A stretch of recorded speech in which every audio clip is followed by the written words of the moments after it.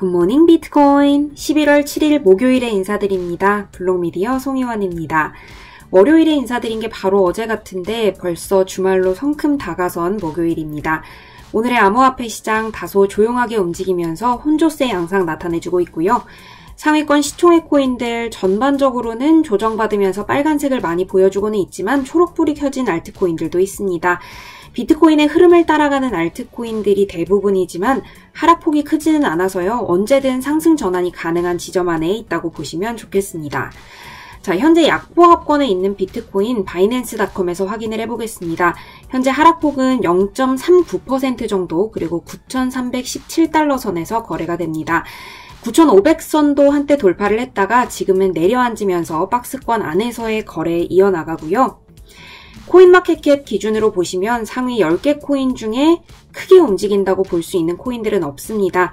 비트코인 캐시가 3% 오르고 스텔라가 4% 정도 내리면서 이 중 가장 크게 움직입니다. 다른 코인들은 1% 이내의 움직임인데요. 보합권 안에서 다소 움직임이 크지는 않게 거래된다고 보시면 좋겠습니다. 이 7거래일 그래프를 보시면 주중 고점에서 움직이고는 있지만 오늘 기준으로 봤을 때 뚜렷한 상승이나 하락은 대체로는 없는 시장이라고 보실 수 있겠습니다. 빗썸에서의 분위기도 같습니다. 약보합권에서 움직이면서 비트코인은 현재 1074만원에서 가격이 형성되어 있습니다. 강세를 보이는 비트코인 캐시, 비트코인 SV, 에이다 그리고 체인링크 등이 있고 빗썸에서 리플도 현재 상방향으로 돌아섰습니다. 업비트에서 역시 소폭의 조정이고요. 큰 차이는 아닙니다. 다만 빗썸보다는 현시각 하락률이 조금 더 낮습니다. 비슷한 가격인 같은 가격인 1074만원대에서 거래가 됩니다. 오늘 아침 뉴스는 시황 기사로 시작하겠습니다. 비트코인의 단기적 지표들은 하방향을 가리키고 있지만 중장기적으로는 위쪽으로 향하고 있다라는 시선이 지배적입니다. 기술적인 지표들에 따르면요, 비트코인은 아직 만 달러 위쪽으로 뚫고 나갈 수 있는 모멘텀과 힘이 쌓이지는 않았다는 것, 하지만 언제든 위쪽으로 나갈 수 있는 가능성은 가지고 있다라는 의견이 있습니다. 자, 그렇다면 비트코인의 올해 11월 예측 실적은 어떨까요? 한 달간의 예측 분석입니다. 올해 11월이 시작된 이후에 아직은 속단하기는 이릅니다만 비트코인은 1.5% 정도 오르는데 그치고 있는데요. 일부 분석가들은 비트코인을 포함한 주요 암호화폐들에 대한 누적된 매도 압력에 따라서 만 달러까지 상승할 가능성에 대해서는 아직 명확하지는 않다고 봅니다. 그러니까 단기적으로는 하락세, 중장기적으로는 상승세라는 입장을 유지하고 있는 전문가들이 아까 말씀드렸던 것처럼 대부분입니다. 펀더멘털 측면에서는 다만 조금 더 안정적일 수 있다고 보는 것이 비트코인 네트워크의 해시율 상승, 그리고 다가오는 반감기, 채굴 부문의 성장 잠재력 등이 모두 비트코인 시장에 긍정적으로 작용할 수 있는 요소들로 꼽히고 있기 때문입니다. 자, 벡트의 선물 거래량이 1061 계약 건수를 달성하면서 현지 시간 어제로 출시 이후 두 번째로 계약 건수가 높은 날이 됐습니다. 지금까지의 최고 기록은 183건수였고요. 바로 전날에는 541개였는데 하루 만에 굉장히 높은 양으로 오른 거죠. 96% 정도가 올랐다고 기록이 되고 있습니다. 벡트의 비트코인 선물은 출시 두 번째 달로 들어서고 있는데요. 현재는 아무래도 비트코인 현물 가격에 영향을 좀 많이 받는 만큼 변동성이 짙은 비트코인 가격과 함께 움직이고 있는 중입니다. 또 해당 선물에 다음 달부터 옵션을 좀 추가해서 제공할 계획도 있다고 벡트는 밝혔는데요. 이 새로운 프로젝트는 12월 9일로 예정이 되어 있습니다. 처음에는 기대만큼의 못 미쳤다라는 평가도 종종 있었지만 느린 출발이 벡트 선물이 가진 모든 잠재력을 없애버리는 것은 아니라면서 시작은 느렸지만 전체적인 평가는 칭찬할 만하다라고 이야기하고 있습니다. 자, 결제 서비스 업체죠. 스퀘어의 캐시 앱이 비트코인을 구매하면 최고 1.76%의 수수료를 부과하기 시작했다라고 합니다. 웹사이트에서 최근 비트코인 매매를 할 때 수수료가 부과될 수 있음을 밝히고 트랜잭션 마무리 단계에서 부과될 것이다 라고 밝혔습니다. 비트코인을 구매할 때 거의 마지막 부분에서 수수료가 부과될 것이라는 건데요. 9월까지는 분명히 수수료가 없었는데 언제부터 부과를 시작했는지는 명확하지 않다라고 보고, 보도가 됐습니다. 정확히는 11월 5일 기준으로요. 10달러 정도를 내면 0.1달러의 수수료가 붙고요.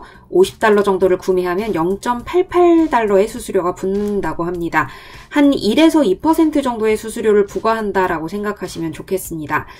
한편 스퀘어 측은 2019년 2분기에 비트코인을 판매해서 125만 달러를 벌었다고 밝혔습니다. 1분기보다 거의 2배 정도의 가격인데요. 3분기 실적은 아직 나오지는 않았지만 수수료 부과 이후에 3, 4분기의 실적도 주목을 끌고 있습니다. 오늘의 국제 뉴스는 중국으로 가보겠습니다. 중국이 비트코인 채굴을 폐기 대상 산업으로 지정했었는데 이 계획이 철회된 것으로 보입니다. 아마 최근 시진핑 주석의 블록체인 기술을 적극 육성하겠다라는 발언과 맞물려서 철회된 것으로 보이는데요. 지난 4월 중국 국가개발개혁위원회는 비트코인 채굴 자체를 폐기 대상 산업으로 지정한 바 있습니다. 하지만 지난 11월 5일에 2019년 최종 카탈로그가 공개가 됐는데요. 여기에는 비트코인 및 다른 암호화폐 채굴 활동이 포함되지 않은 것으로 나타났습니다. 따라서 2020년 1월 1일부터 발효되는 폐기 대상이 아닌 것으로 드러났다고 합니다. 자, 시진핑 주석의 지난 발언 때문일까요? 중국이 블록체인 기술 산업 육성에 상당히 적극적으로 움직이고 있습니다. 중국의 중앙은행과 홍콩의 중앙은행 기능을 하는 통화 당국이 블록체인 금융 프로젝트 공동 추진을 위한 양해각서를 체결했다고 합니다. 2020년 1분기부터 양측이 따로따로 진행해왔던 블록체인 프로젝트를 연결하는 작업을 공동으로 실시하기로 한 건데요. 중국의 거래금융 플랫폼과 홍콩 당국의 eTradeConnect를 연결하는 프로젝트가 될 예정이고요. 편리한 무역 금융 서비스를 제공하기 위해서 꼭 필요한 확대 작업이라고 밝혔습니다.